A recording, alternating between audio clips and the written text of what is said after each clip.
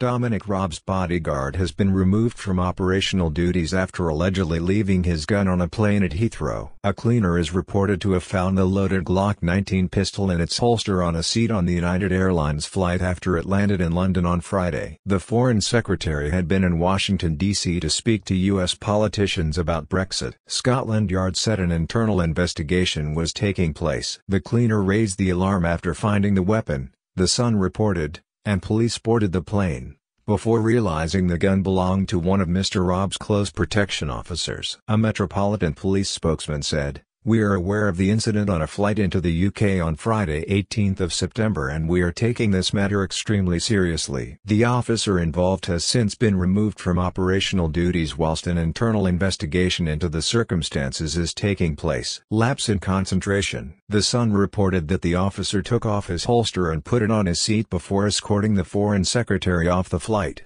leaving it behind. Former Met Chief Superintendent Nick Aldworth told the BBC there were strict rules about the handling of firearms, but that human error does happen. This sort of thing is not common, but it does happen, he told the Today program.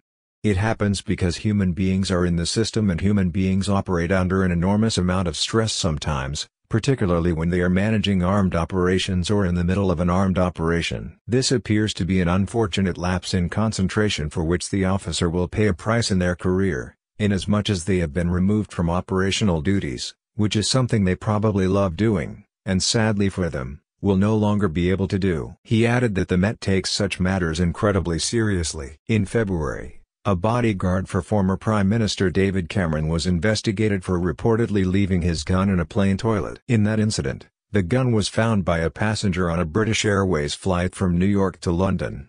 Mr. Cameron is entitled to continued security provided by the Metropolitan Police as a former Prime Minister.